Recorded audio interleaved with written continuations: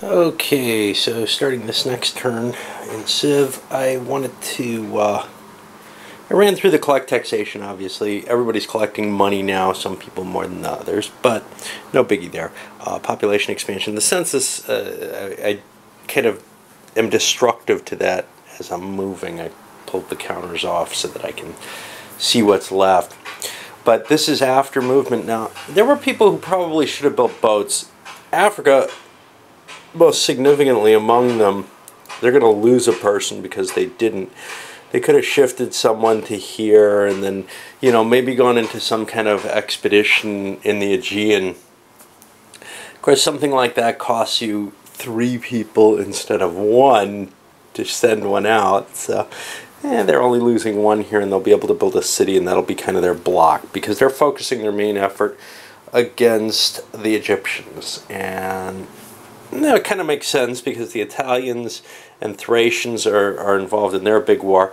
Crete and Assyria have more or less come to a peace here because Crete moved last. Assyria would have had to really violate uh, the Crete in order to gain control of those areas. In fact, Assyria moved early everywhere. They made an offer to Egypt essentially by building a city here. Egypt agreed by building their own city, so now we have a wall there. Nobody can pass that easily. And given the terrain, it's tough to break that wall. Now, this is not great news for Egypt. Egypt would have hoped to have grabbed more of the Near East, and they're under pressure from Africa. This is why the Africans push in here and I haven't done the conflicts yet, and the Egyptians have moved in here to kill these guys off, trying to maintain some sort of balance here. And it means they only build one city. And likewise, Babylon's looking at an expansion into Assyrian uh, claimed territory. They have a decent number of cities right now and aren't really threatened, so this is probably a mistake on their part. They probably should have considered building two cities. And, uh, well, that would make it easier for them to break this hump. I think as we're going to see it, both Egypt and Babylon are going to fall behind, and they should have done that for population if that's the case. Anyway, let's uh, resolve some of the conflicts. Uh, you can see Italy and Thrace. That, what a mess that is, by the way. I mean, they're just interpenetrated. It looks like because Italy went last, they're kind of booting Thrace into all the high population areas. Uh, which is fine, except there's no city spaces there, so it's going to cost a lot more population to grow. I think Thrace is in a little bit of trouble right now. We'll see. Um,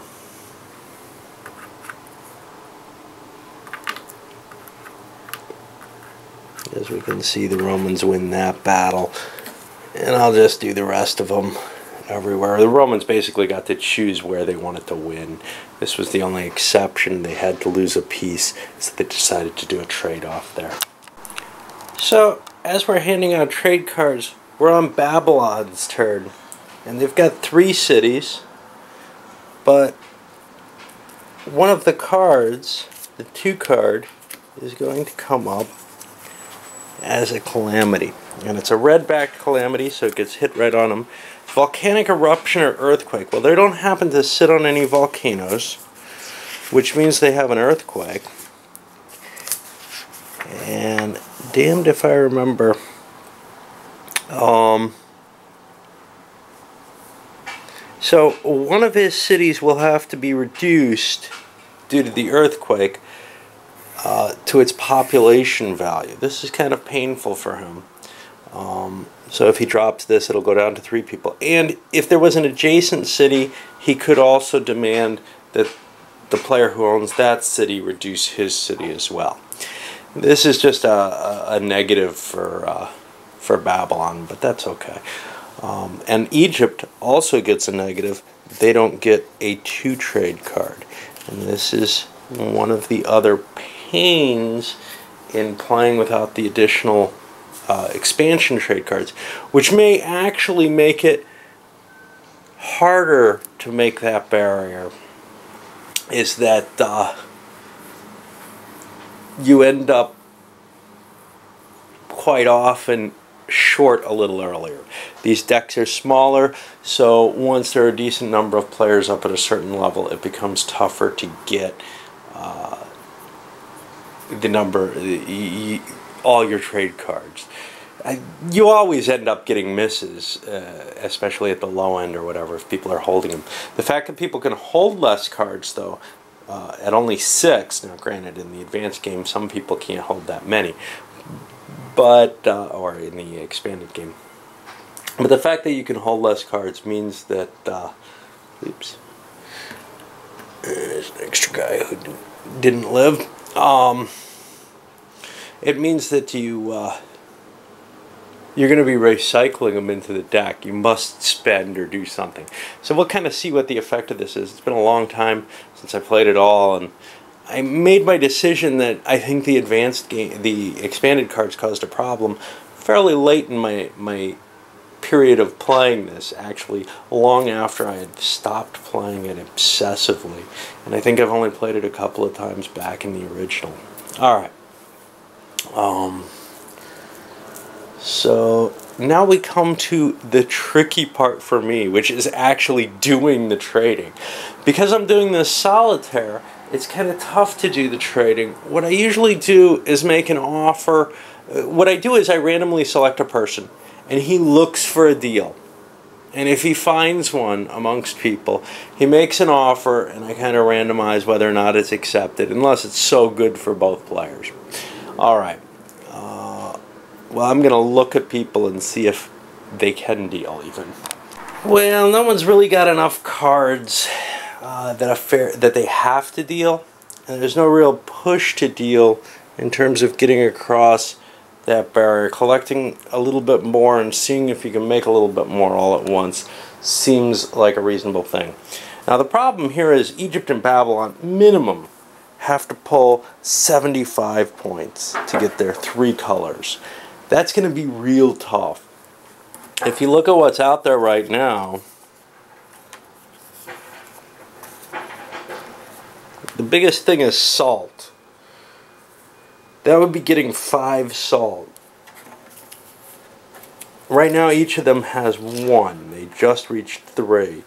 Uh, it's definitely not possible right now. I don't think that they're going to make it on the next phase. Now, they don't have to make all of their money off trade cards, of course, but there isn't much towards that 75 here, so I think they're both going to end up being pushed back a space, which means they should have probably taken a delay earlier. Um, it's all, almost always bad to build your cities as quickly as possible. Okay, and well, after all the trade card type stuff, including purchasing, what we go to is the calamities, and we have this one. Now this is bad for whoever has the least cities because nobody turned anything in and it's sitting here. Uh, let's give him the calamity to begin with. He wants to free these up, I guess. But that's going to make his life much, much more difficult as well because he's behind a city now. Um, so this is one of the weird things about this game because there's no reshuffling, because cards don't necessarily go back in the deck, etc. These suckers just sit there on the top of the deck, and uh, now it's kind of this race. Africa feels pretty safe, but Italy does not. They're in a race to build more cities than, say, Thrace, who's also at two. Or, well, Babylon, who's at two as well. So it almost becomes a I really don't want this to happen um, aspect to some of these calamities, which I find kind of an interesting dynamic. All right. Briefly, let's just look at the advances here. I think everybody makes it. Everyone has at least two cities at this point, so it's no problem. But now we hit the warning point, and this is Egypt and Bab. They have to get their three colors, and it's going to be tough uh, with this card set. With the new card set, sometimes it's a little easier, uh, and other people are really unlikely to stop with the expanded cards. Alright. Okay, this is a big turn for uh, Egypt and Babylon. They have to get their three colors here, and they haven't bought any advances yet. So this is going to be kind of tricky for them. they pretty much are forced to trade, which may mean that they have to give slightly better deals to other people. Of course, if they can't make that limit, which is quite possible, there's no reason to make the trades, uh, except that their hands are getting too big. So they may not be quite as pressured in terms of trades as you think they might be, just because I've kind of screwed up and maybe not gotten them into as good a position as they normally would be. This is often a problem for Egypt and Babylon with whichever trade card set you're using. Uh, it's tough because other people don't have the same pressure to build and, and to make trades, so they quite often get left behind at this level um, if they didn't take the getting left behind at the previous level. It often balances out, but I, I think it may be better to take the skip and, and get the bigger growth, which I've stated a few times. Here's our uh, census data. And one thing that's important is relative position. So having a lot of troops is bad in the sense that you go early, but Thrace has the second most troops, but they go after the person they're worried about, which is the Italians. So they've kind of engineered a good situation for themselves. Uh, likewise, Crete gets to go after the Assyrians and after everyone else. It doesn't matter that Egypt goes after them. Um, but they don't have a lot of pieces, so that's a little off. We've got some boats being built here. The Italians, with a thought towards moving more into uh, Greece and building some cities down there. Ahistorical, this game has a tendency to create some pretty ahistorical stuff. And these cultures stop making a lot of sense once civil wars and stuff place them all over the place. Just, there's a lot of weirdness and, and you kind of lose your image of, yeah, this game is well linked to history. It feels like it early on, but it doesn't really end up that way. Although, historically, there were these break off little pieces like this. You know, like um, you have the Romanians who came from a Latin background but are in a very strange place. Not at this earliest stage, though. But the Hittites, for example, came from a very, uh, they, they're an Indo European language group and ended up settling down here competing with the major Middle Eastern powers, which is kind of weird. They would be the Asians in this game, I guess. Uh, let's see. So anyway, we have an Italian boat here. Thrace built a boat with an intention of kind of settling in the Isles. The Cretans had to build a boat. They're looking at maybe Cyprus or maybe the Isles or something uh, to expand to. Basically, they just need to get some of their excess population out of there after they build this city. And they're going to build a city on Crete as well. Uh, they may actually be able to build both Cretan cities. Mm, one, two, three, four. Yeah, they actually could. That might be their most advantageous. It weakens their spreading, though, and they have a long time before they have to hit that three colors. So they may not have a real desire to build um, to build too many cities right away, in, unless other avenues are closed to them. Uh, who else? I think that's it for boats. And now we're going to move on to the movement and conflict, and I'll, I'll come back after that, probably. Well, let's take a little look at the pre-conflict situation. First of all, Crete got itself in a situation, uh, maybe if it had bought the boat using treasury, it would have been in better shape. In fact, nobody used Treasury to buy boats. Uh, I think that was probably a mistake on Crete's hands, maybe less so for Rome or Thrace. They had real population problems overall. Uh, but it meant that they couldn't build an extra city. I don't know if they would have had that extra city available if they had built the boat. But it did also mean since they didn't build this city, they're pressing out against the Assyrians, who kind of withdrew from this area. Now they're going to lose this whole northern little piece of land because they're building a city here, which creates that wall of cities effect. Um, giving Crete a kind of powerful little land enclave that they sometimes have trouble uh, creating because they're spread out among the islands and have a lot of difficulty kind of massing manpower anywhere eh, without using navies. Uh, I don't know how much this masses here because this is going to become a city eventually and break apart whatever uh, synergy they have there. They slid forward to here and then back so that next turn maybe they can use that boat again preferably paying from treasury at this point. Uh, egypt is under some serious strain from the africans where they couldn't build as many cities as they would like to. You see babylon's building two of course they're a city behind. Egypt could only afford one city because of these attacks and i'll take care of these just to kind of show you where this is going. I think this is one of the more interesting. This is okay. Here we have the 3 to 2 advantage, which means it's going to be removed that way. Uh, it's just to kind of show you there's an African, uh, a, a choco elephant over there. They look yummy to me, I'm sorry. Uh, over here, Thrace really got to put the squeeze on the Italians. You'll see how that uh, turns out in a little bit. We also have Babylon kind of inserting itself into the Assyrian territories, more to provide them with a shield of some sort, because they're afraid they're going to lose these kind of areas in the borderland because they had to build uh, further back. But they also don't want to completely cut off their own expansion. It's a troubling situation for them. All right, well, we'll see mainly how the Thracian Italian uh, fights come out, along with uh, the cities will be in place as well. And just from placement of the uh, cards, and this was pretty much deterministic because Thrace only built three cities, they ended up getting the disaster that was sitting on the top. But nobody got any ones and twos because those have all been dealt out already. Uh, when we go above Thrace, who didn't get much, he got assault along with that. Crete, uh, Babylon, both got a three and a four card. Egypt, though, got just a four card, a grain, because they uh, picked up a famine. Then moving further out, Africa and Italy got uh, fours and fives, and Assyria got a four through seven. A lot of cities there. Can I support all these? 1, 2, 3, 4, 5, 6, 7, 8, 9, 10, 11, 12, 13, 14, 15, 16, 17. Yes, I can.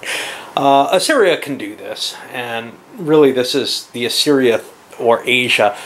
If only one of them is in the game, usually they end up very, very powerful at this point, just in terms of that early big area, a lot of city richness that's reachable. If they're both in, they fight over it. And that makes it uglier for them. And it makes it more like the situation you see between Thrace and Italy. The problem is, uh, it's very unnatural for both of them to be in the game, just as it would be unnatural for all three of these to be in the game uh, at the same time in a seven player game. Um, all right, well, it's time to start the trading. And for solo play, I think I've kind of explained this. I roll a die to see who gets to trade first. And I'll start here and go around. And that's eight. That's no good. Six. I'll start with the Assyrians and see if they can find a trade with someone else. They're going to try to make an offer uh, in terms of, hey, this is what I want. If it doesn't work, then I pass on and, and go to the next person. And I'll just go in an order from there, um, trying to establish trades it basically best idea of a trade in my mind and it either works out or it doesn't you know? Somebody either takes the trade bait or they don't. Early in the game here it's pretty likely that people will take even the early trades. Let me just open up with how this is oh we have the famine which is kind of a danger because people might want pottery and to hold grain. But anyway the assyrians have said i've got grain worth seven in three cards and i want cloth and I'm just going through every pile to see if anybody's got cloth, and some people will, and wants grain. And chances are they will take this deal. Usually a 50-50 uh, I roll on it because, yeah, it's not obviously to their advantage. They're giving away the better commodity for the lesser one. But there's more grain out there. So if they want to get out early, and in a way, Assyria probably actually wants to get out earlier than some of these. They'll take it. We'll see. And the die said Italy would accept that they have cloth worth seven. Now, Africa tried to push a, hey, can you push that up a dollar? Because you see, they have a pair of salt and a pair of grain.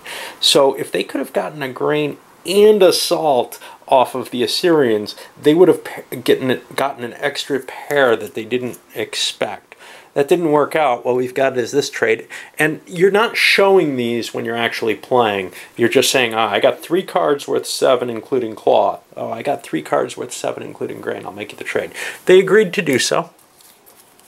But I'm not going to allow Assyria to get the next trade. I've got to move on in order to try to simulate the dynamics of a real game where there's real trading going on and people are kind of pairing off and saying, hey, what about this? What about that? Uh, there's often a lot of confusion, well, chaos in the game while the trading is happening. It usually settles down pretty quickly. Uh, except there's always, you know, one person in the game, oh, I don't know if I want to do that, I don't know. And he's just left there and, and all the good trades kind of pass him by, and then, then finally he takes something at the end, you know. but uh, he usually ends up not getting the best sets consistently because he's being too slow and not grabbing those early deals that you can kind of snowball into better deals later. Okay, well, we got our first burn in the game.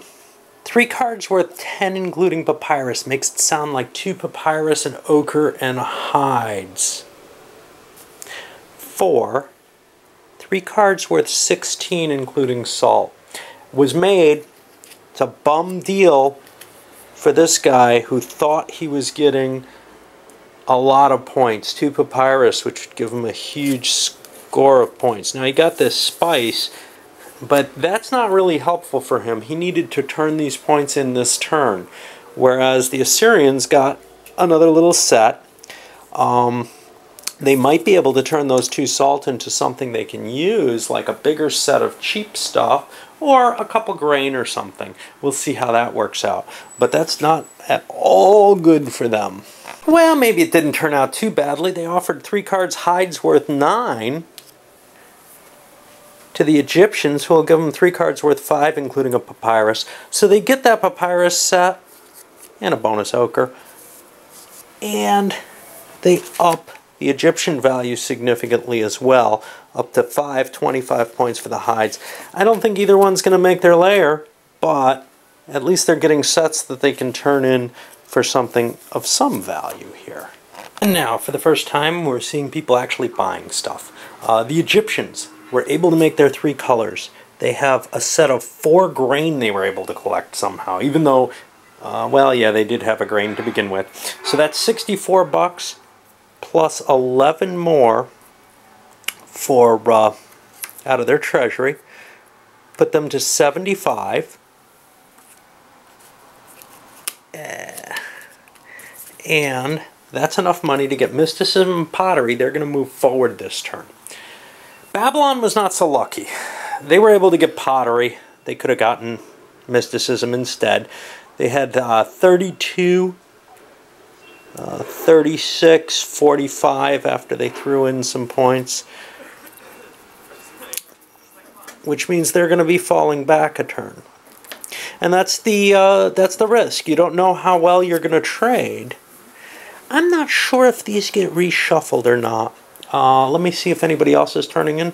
It looks like one other person's turning in here, which is uh, the Assyrians, who also bought pottery. Now, they don't need to move forward this time, but they want it because they look like they're doing well, and there's a famine in play, and they happen to have some grain in hand.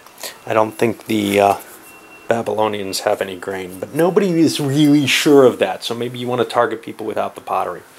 All right, let me look up uh, whether or not it says to reshuffle those mixed trade cards or if they just get put in deterministically. Yeah, as I thought, they go in deterministically, which is kind of weird. I, I, I, think when you add the advanced trade cards, they changed the rules and said you shuffle them. And to me, that added a negative aspect to the game. In fact, if you wanted to purify this game completely, you would stack the deck every other one with trade goods at the beginning of the game so that there's not even a shuffle at the beginning of the game. Okay, so now we have some disasters Uh, I'd better load this up and come back to them in a moment because I want to speak a little bit. Okay, let's take a look at these disasters. The first one we have to resolve is the volcanic eruption or earthquake. Well, again, I don't believe Thrace is sitting on a volcano. This is close. So they have to pick a city and demolish it. Um, they're going to pick this one. And they get three people in replacement so that they can knock out this Cretan city. And there's nothing Crete can do about this. they just lost it. But they got the men back, so it, it's just reduced. It's not actually destroyed. Uh, reduced the component population. Eh. Uh, now, famine is more complicated. I don't remember the numbers on famine. But that's okay. That's one of the reasons we're looking at this. Got a nice little... Uh... So, Egypt is going to lose nine points of stuff. He has pottery, but no grain to show for it. Uh, you can turn in grains, or not turn in, but reveal grains if you have pottery, and they reduce that by four. So he's going to lose nine points of stuff, which he has to pick. Then he has 20 points of stuff, and people count as one, cities count as I think five and they're reduced to the space. Because if I'm not mistaken nope city's kind of six in this. There's another one that just reduces things you can't reduce it beyond uh, beyond the amount of territory you have. So here's a problem. You have to worry about unsupported cities here. If you have less cities uh, if you have less people than you can support. So they have two, three, four, five, six, seven, eight, nine, ten people. They can support five cities. They're going to have to lose a city. Well, this is just ugly. This is the safest city for them to lose, so that's five points. It does... The player decides how any player with pottery may reduce... Yeah. There's something that reduces them, but you can't... Uh, you don't lose as much. So now he's only needs six pieces. What did I have? Two, three, four, five, six, seven, eight, nine, ten. I've lost uh, six for my city. I think I can lose three and still be good. So that's one. Hmm. This is not pleasant no matter how you cut it. Two tray. Yeah, let me keep something of a barrier. So that would be nine points, and I'd have one, two, three, four, five, six. I could support all my cities. So these guys die. And I lose this city. But I made it over my hump. Which is the important thing. Okay, now I get 20 points to allocate to other people that they have to take no more than 11 to any one person. Now, I'm not going to hit Babylon. Not only do they have pow, uh, pottery, but they're not moving forward. Who do I want to hit? Well, I sure the hell want to hit Africa, and I'm going to hit them with 11 points. And let's see, who else do I think is doing really, really well? Assyria is on my border. I'm not sure they're doing terribly well. I like picking on them, though, because I'm used to how powerful they can be. Uh, I might piss them off by hitting them though. Huh. I don't have to allocate the other points, and I'd be, you know, everybody would be thankful and nice to me, maybe. I've never seen that in a game. Um, hmm. Yeah, I'm going to hit Assyria because they've been able to buy something. I think they're going to make their hump fairly easily. Of course, I think other people are going to make their humps fairly easily too, but this might interfere with them. So I'll hit them with 9. Um, I'll, I'll do the uh, points on... Oh, no, they have pottery. I don't want to hit them. Alright. Um... So this is the question. I could probably knock Crete, who's kind of weak, for a loop here. or maybe Italy or something.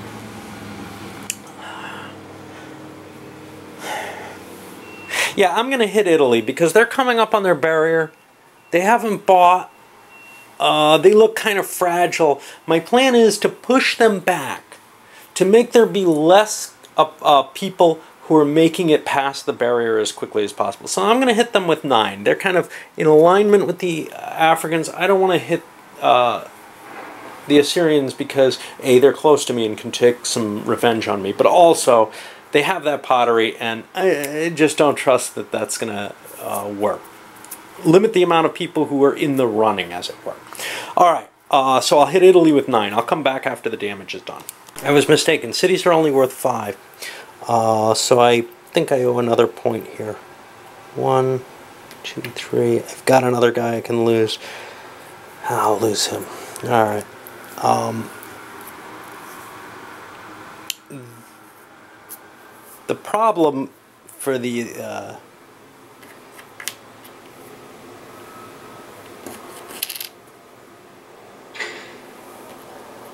for the Africans is there. That's 11 points. And I was hitting Italy with 9. I got to figure that one out. Alright, so here my African losses two cities and one of these dudes. And the Italians lost a city and two of these dudes. And both have enough points to support the remaining cities, I hope. I'm not sure about those Italians. Uh-oh, two, four, five, six. Oh, they can't. Uh-oh. Screwed up. So I had five, six, seven, eight, nine. It looks to me I think I'm stuck having to do this though. Let me look. Well, there's no change given, that's certain. And it doesn't say that I can lose more anywhere that I can see. So I think I have to lose 9 points and then reduce a city, which is the 5 that I took here. Six, seven, eight, nine, And now I'm in trouble because I have one, two, three, four cities and only enough to support three of them. So this city also gets reduced to two more people. I think that's the correct way of playing it. Uh, been a long time, but that's what I recall. Well, these uh, disaster. Uh oh, person who's got the lowest number. Nobody turned in salt. That's going to go away. This actually went under the deck first on the two deck. But that means we have a guaranteed calamity. And we have one not too far down here. We have the nasty Civil War coming. So this game, it's hard to avoid these, but we can see I don't know if you're allowed to paw through, but if we were counting or whatever, we'd know one more card down, the second guy to get a, a level 4 uh, commodity is going to get a Civil War, which is another very bad one. Um, maybe the worst of the pile. It creates somebody else's stuff in your territory. Italy was definitely badly hit by uh, that famine, though. Africa, well, they're not in the position to challenge Egypt quite how they used to be. All right, now let's look at what else we have. Uh, the only thing remaining in the game, I believe, is moving forward. And nobody's out of cities, so everybody moves forward except at the barrier. Babylon does not. They don't have three colors, but Egypt does. And already Babylon's fallen behind. If this was the full trade set, I could guarantee that they will not win the game.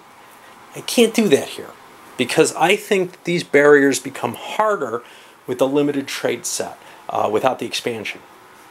That's my theory at least. Someone may still make it by running completely through. But and with the expanded trade set, nearly everyone made it by running through.